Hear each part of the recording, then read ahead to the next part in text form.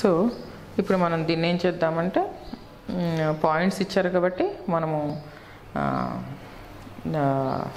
Section ఫామ్లో apply చేద్దాము. అంటే C one comma C two తీసుకోండి. Minus two comma three. Ratio ఇచ్చాడు. అంతరంగాన బాహ్యంగాన మనం అంతరంగా తీసుకుందాము. Okay? So X one Y one X two Y two ఇచ్చాడు.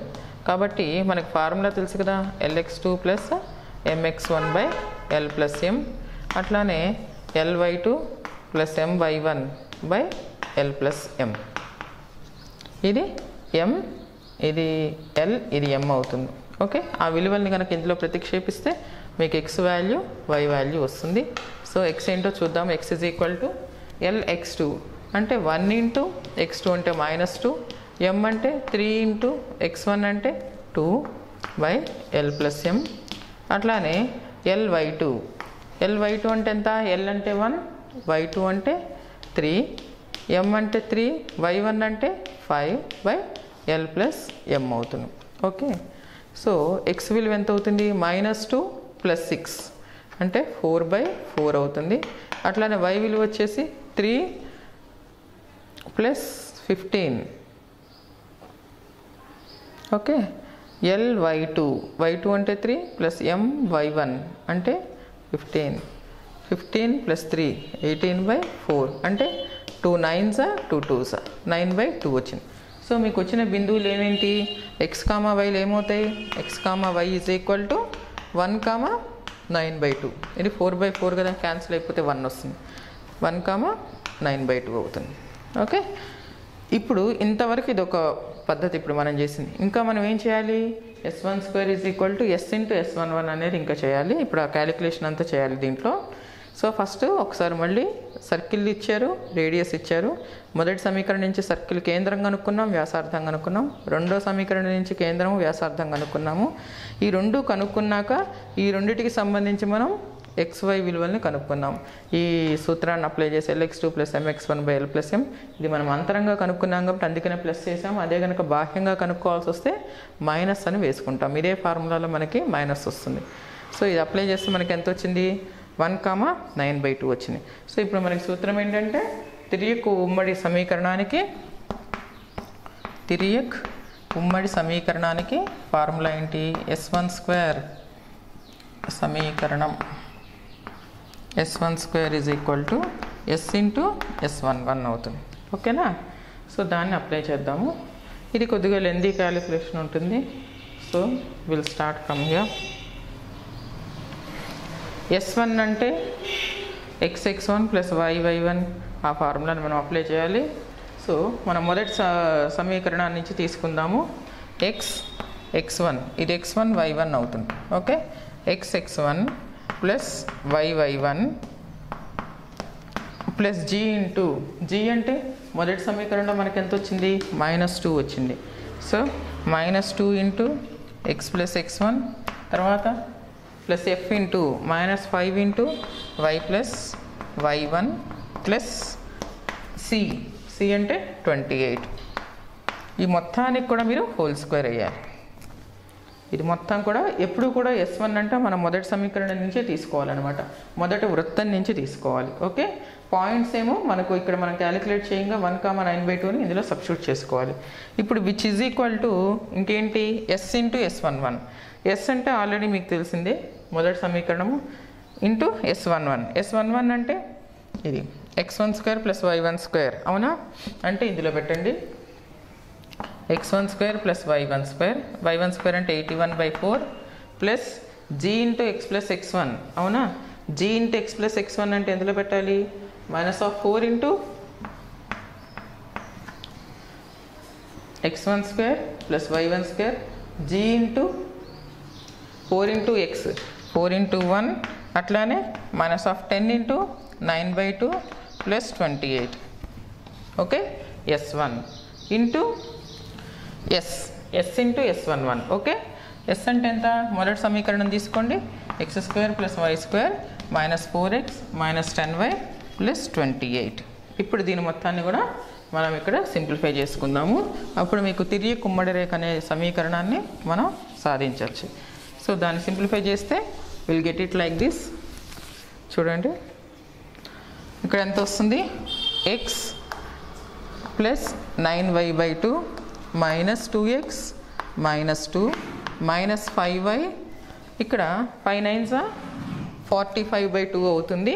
ప్లస్ ట్వంటీ ఎయిట్ ఉంటుంది. Okay minus forty five by two plus twenty eight whole square is equal to ఇక్కడ చూసుకుందాం.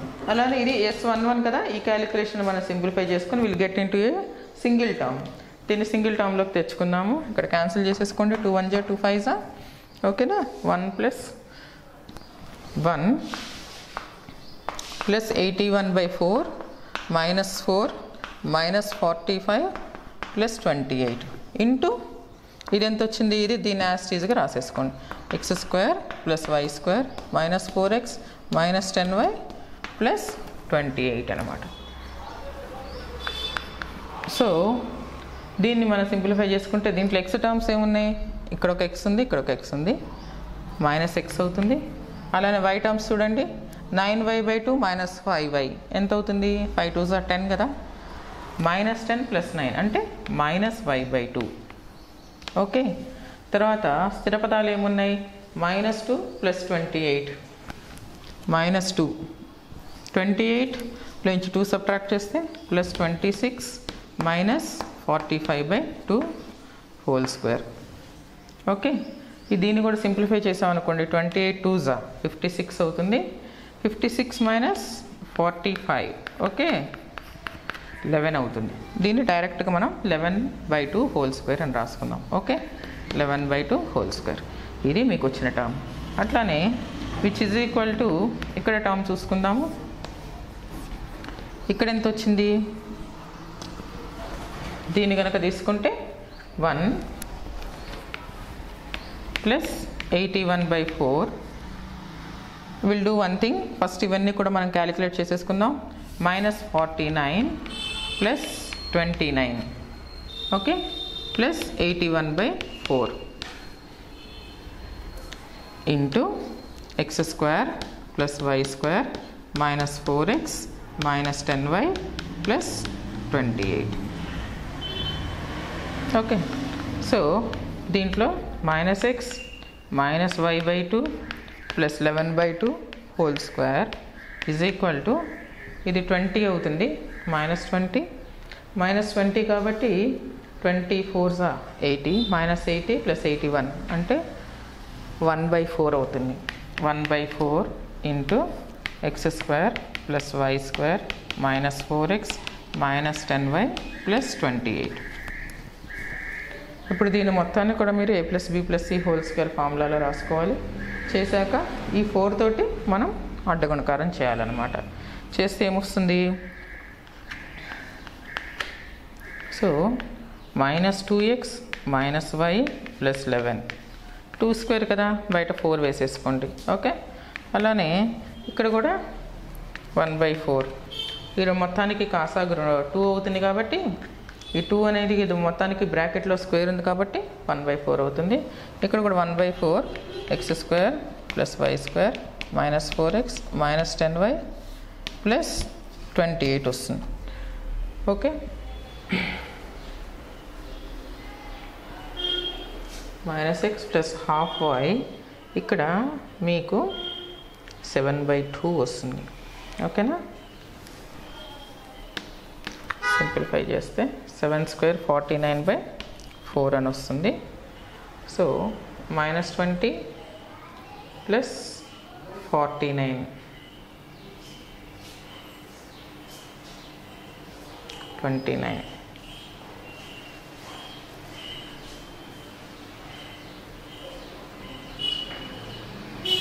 ఇది ఎయిటీ వన్ బై ఫోర్ కదా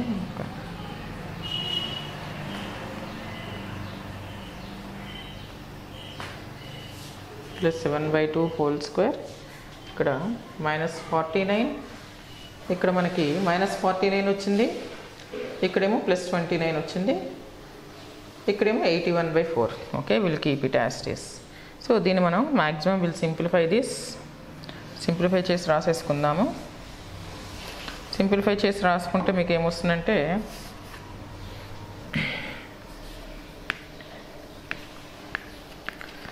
minus two X కాసాకు తీసుకుంటే minus two Y plus seven whole square is equal to one by four into X square plus Y square minus four X minus ten Y plus twenty eight వస్తుంది. మనం ఏం చేద్దాం ఏమంటే ఇప్పుడు దీంతో A plus B plus C whole square కదా A square will write it here